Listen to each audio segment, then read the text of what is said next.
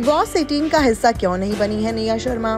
Finally उन्होंने बता दिया है आखिरकार क्या था रीजन उनका नाम इतना ज़्यादा हाइप में आया और अचानक से उन्होंने शो में आने से मना कर दिया। ऐसा क्या हुआ था?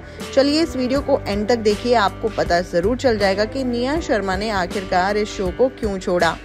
निया शर्मा के बिग बॉस 18 में आने की हाइप काफ़ी रही, लेकिन अचानक से उन्होंने ये अनाउंस कर दिया कि वो शो का हिस्सा नहीं बनेंगी।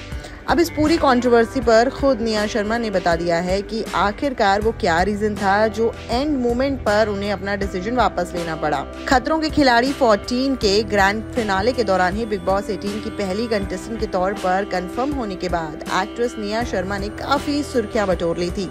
उन्होंने 6 अक्टूबर को ये अनाउंस कर दिया था कि अब वो शो का हिस्सा नहीं बनेंगी। जैसे ही शो का प्रीमियर आने वाला था, उसके कुछ घंटों पहले ही निया ने बता दिया था कि वो शो में हिस्सा नहीं लेने वाली, जिससे फैंस काफ़ी कंफ्यूज हो गए थे और बहुत डिसअपॉइंट भी हुए थे।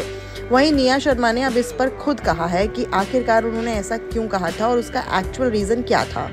दरअसल उन्होंने एक इंटरव्यू दिया जिसमें उन्होंने ये खुलासा कर दिया कि वो पहली बार बिग बॉस 18 में शामिल होने वाली थी, लेकिन प्लानिंग में अचानक से चेंजेस हो गए, जिस कारण से उन्हें बाहर होना पड़ा।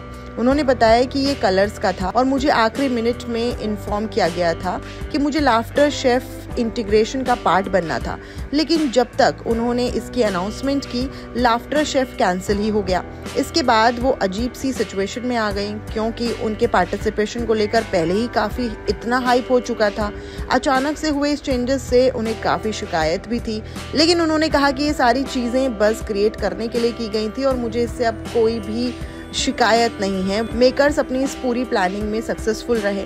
निया ने आगे मेंशन किया कि वो पूरी तरह से नेटवर्क का ही फैसला था और वो उनकी स्ट्रैटेजी का ही हिस्सा था और वो उनकी स्ट्रैटेजी को सपोर्ट भी करती हैं। उन्होंने कहा कि अगर वो मेरा नाम लेकर कुछ कर रहे थे तो वो पूरी तरह से ठीक है। मेरे पास उनके साथ दो शोज़ हैं और मैं उनकी प्लानिंग की रिस्पेक्ट करती हूँ। दिलचस्प बात तो ये है कि निया ने कहा कि उनकी अनाउंसमेंट काफ़ी अट्रैक्टिव रही और मैं उनके इस स्ट्रैटेजी की सराहना करती हूँ। मुझे काफ़ी एक्साइटमेंट थी और मेरे फैंस को भी काफ़ी एक्साइटमेंट थी कि मैं बिग बॉस में जाने वाली हूँ, लेकिन अचानक से इस हाइप को क्रिएट करने के बाद जो डिसीज़न उन्होंने लिया, उसको लेकर काफ़ी लोग डिसअपॉइंट भी हुए हैं। फिर उन्होंने मज़ाक के अंदाज में कहा कि मेरे घर में एंट्री करने को लेकर हाइप बहुत बड़ा था। मैंने इसे खूब इंजॉय भी किया है। वेल well, निया शर्मा के घर में ना आने से उनके फैंस तो डिसअपॉइंट हुए ही थे लेकिन मेकर्स ने उनको घर में लाने की स्ट्रैटेजी बनाई या फिर एक प्लानिंग थी सिर्फ़ और सिर्फ़ बिग बॉस 18 के लिए हाइप क्रिएट करने की आपको क्या लगता है?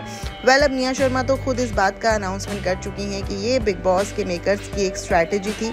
फ़िलहाल तो वो बिग बॉस के घर में नहीं जा रही हैं।